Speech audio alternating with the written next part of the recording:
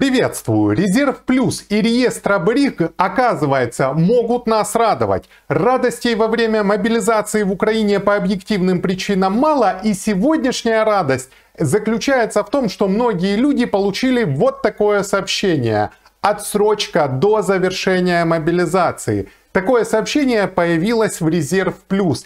И, как вы видите на этом примере, человек, который, согласно данным в резерв плюс, не стоит на учете, но имеет право на отсрочку, получил соответствующую запись. Отсрочка до завершения мобилизации. Сейчас мы будем разбираться с вами, что же это значит, насколько это для нас хорошо, и поговорим о том, а где же здесь ложка дегтя.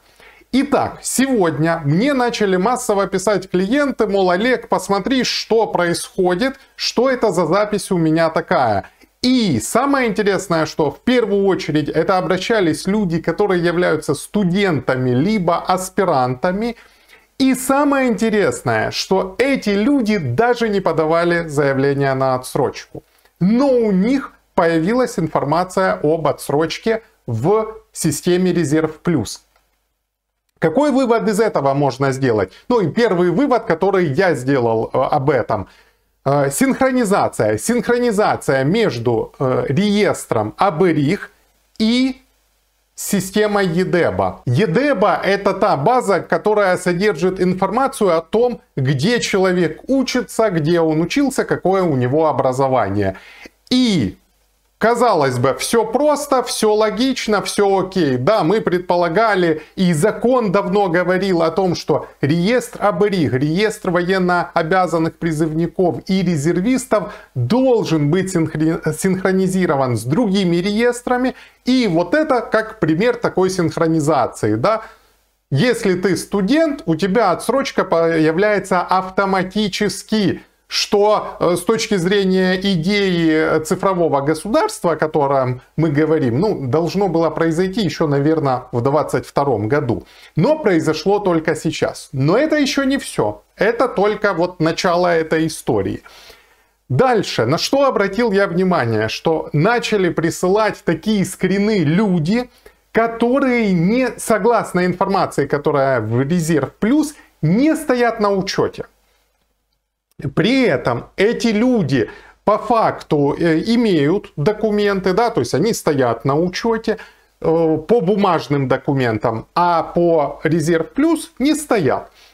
Тоже все понятно, все логично. Мы с вами помним, что постанова 932 есть, которая, помните, про эксперимент. Так вот, эта реализация этого эксперимента как раз и заключалась в том, что должны были наполнить реестра БРИХ информация из других реестров, и, видимо, это сделали, и, соответственно, туда подтянулась еще информация о том, где человек обучается. Вообще тоже в этом проблем не вижу. Все класс, все супер, идем дальше. Что дальше? Дальше увидел, что пишут люди, у которых есть инвалидность, и они тоже не подавали заявление на отсрочку. Причем, где это я уже увидел? Это я уже увидел у себя в телеграм-канале, потому что когда пошли обращения, я понял, что массовая эта история. Я сделал соответствующий пост в телеграм-канале, и туда подписчики начали писать, писать, писать, что вот, вот, у меня тоже, у меня тоже, у меня тоже. И так, что здесь мы фиксируем? Люди с инвалидностью тоже получили эту запись до завершения мобилизации. Ну и, кстати, да, здесь еще ж надо зафиксировать, что у меня есть телеграм-канал, вот, в котором люди узнают информацию гораздо быстрее, чем на YouTube-канале. Ссылочка на него есть в описании к этому видео. Идем дальше. Кто еще отписался? Первое. Отписались о том, что появилась такая запись. Люди, которые подавали уже документы на отсрочку, у них стояла запись до 9.11, а теперь она изменилась до завершения мобилизации. Тоже все окей, все логично. Почему? Тут э, какой хороший момент я вижу. Когда мы пишем не так, как раньше было до 9-11, а до этого было до какого у нас? До 12.08. А мы пишем до завершения мобилизации. Это значит что? Что человеку, которому дали отсрочку, не нужно три, каждые три месяца продлевать ее. Да, вот то, что мы сейчас там над людьми ну, как бы, я не знаю, как это назвать, но вы сами назовете. Ну, вот эту историю, что ты подал заяву на отсрочку, вот ты инвалид, она у тебя бессрочная, это инвалидность. Но ты должен каждые три месяца продлевать отсрочку. Ну, это ж бред. Ну, полнейший бред.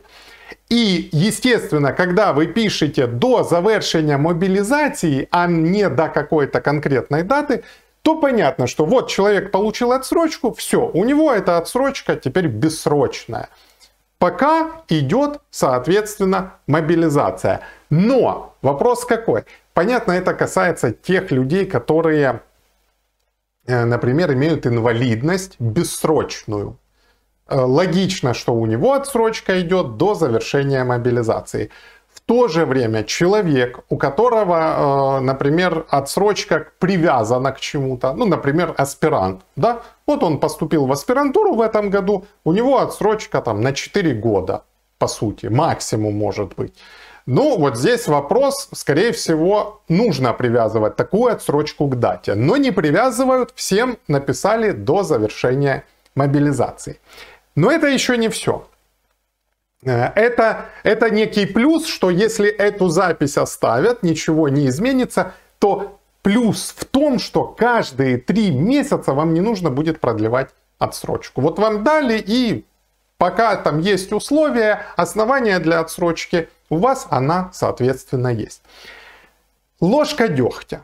В чем ложка дегтя? Ложка дегтя э, заключается в том, что есть люди, которые там же в комментариях на моем телеграм-канале – написали, у меня появилась эта запись, но у меня нет оснований для отсрочки.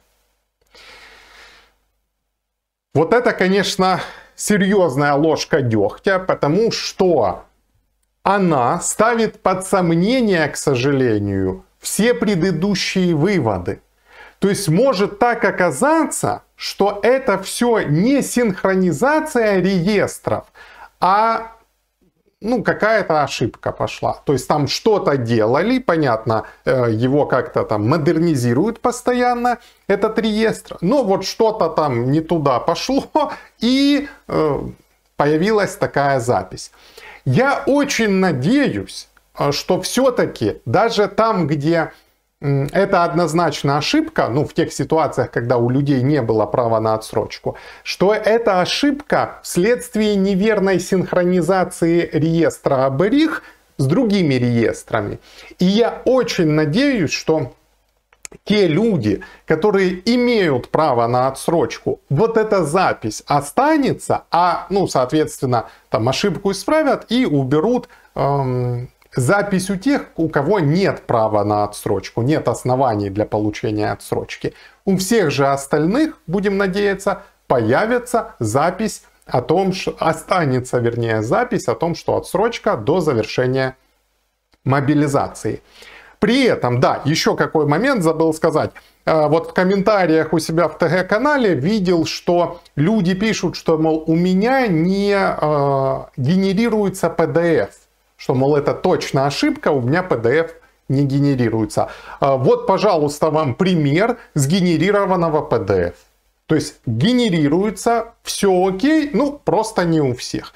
И вы видите, что стрелочкой указано то место, где должно быть указано основание для отсрочки, да, то есть там всегда пункт, часть статьи 23 были указаны то этого не указано. Вот все, кто присылал э, вот такие скрины, скрины резерв плюс, у них причина отсрочки пропала. То есть у всех. Ну вот есть то, что есть. Надеемся на исправление. А, что касается официальной позиции, кстати, пока никаких разъяснений. Вот на момент записи видео я посмотрел и Facebook э, Минобороны, и телеграм-канал, да, то есть те источники, где наиболее оперативно они могли сообщить о том, что произошло, там никакой информации нет. Как только появятся какие-то пояснения, ну, в зависимости от масштабности этих пояснений, я сделаю либо видео, либо в телеграм-канале просто пост опубликую, чтобы вы оперативно знали, что и как.